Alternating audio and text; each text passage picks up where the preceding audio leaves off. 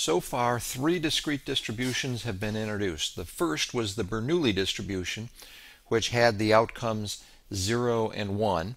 And that Bernoulli distribution led to the second distribution, which was the binomial distribution. Finally, we just finished the geometric distribution, and the geometric distribution with a small g models the number of failures before the first success in repeated independent Bernoulli trials, each with a probability of success p. So now we're introducing a fourth discrete probability distribution which comes up in applications quite often, and it is the negative binomial distribution. The negative binomial distribution models the number of failures before the rth success in repeated independent Bernoulli trials, each with probability of success p. So this sounds a lot like the geometric distribution, but instead of the number of failures before the first success, now that's being generalized to the number of failures before the rth success. Once again, the support will begin at zero and go to infinity because you could have zero failures before the rth success or one failure before the rth success, etc. Now at this point we're going to try to derive the probability mass function for the negative binomial distribution and here is one way of proceeding. The probability of r successes and x failures in a specified order and for example, I have failure, failure, success, failure, failure, failure, success, success. This particular string right here, if you wanted the probability of getting this string in a specific order, and notice that we are waiting for the third success here. One, two, three. And notice in addition, in this particular string, we had five failures, one, two, three, four, five, before we got our third success.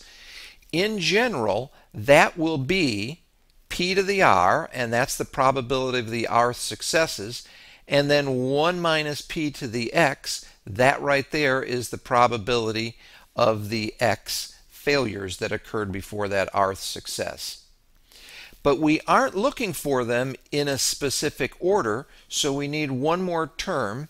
Let me go ahead and put a couple blanks in here. If this is our sequences of trials, and I will not lay out failures and successes in this case, all I'm going to do is indicate that I know that this last one is a success, and I also know that it is the rth success. Well, if that is the case, what can you tell me about the composition of all of these positions right here? Well, we know that if this is the rth success, then we must have r minus 1 successes back here. Okay, and that corresponds to a total of r successes um, on all the trials. But in addition, we have to have x failures that occur back here. Now, that means that the number of trials that occurred before this rth success was x plus r minus 1. So there is the top of the number of combinations. And in those x plus r minus 1, we have to somehow distribute either our r minus 1 successes or our x failures. You could put either one down here, but I'm going to go ahead and put down the r minus 1 successes, and that is the number of different sequences of failures and successes associated with x failures prior to the rth success. Now, basically, that derivation right there is going to lead us to a definition of the negative binomial random variable, and here it is.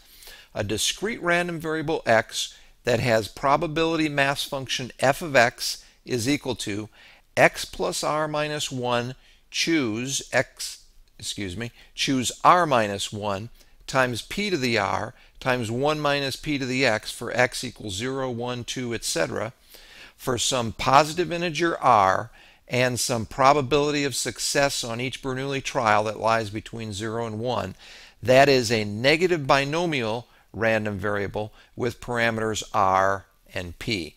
Notice this n is lowercase because we're going to have the same problem we had with the geometric distribution and we're going to have another um, negative random variable or negative binomial random variable that starts with a capital N. Four notes. First of all, sometimes the negative binomial distribution is called the Pascal distribution. Not very often. Typically, it's known as the negative binomial distribution. The shorthand here is x is distributed as a negative binomial random variable with parameters r and p.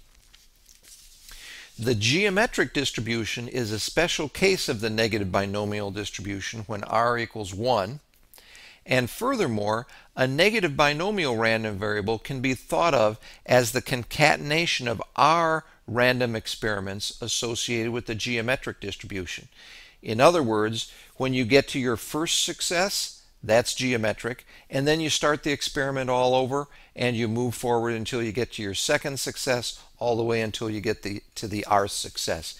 If you want to draw a little diagram that illustrates these last two bullet points, here is a geometric random variable with parameter p.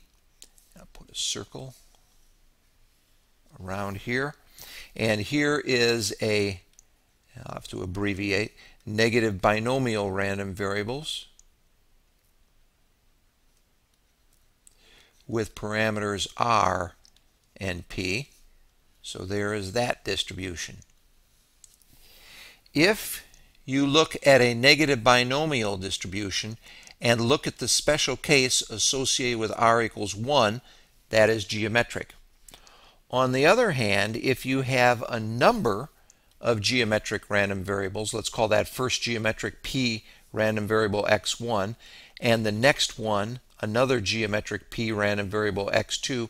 And if these are independent random variables, that'll be defined a little bit later, and you add them up, that's how you go from geometric p random variables to a negative binomial. So that relates the geometric and the negative binomial. One is a special case, the other is known as a convolution in probability, where you're adding up mutually independent and identically distributed geometric random variables.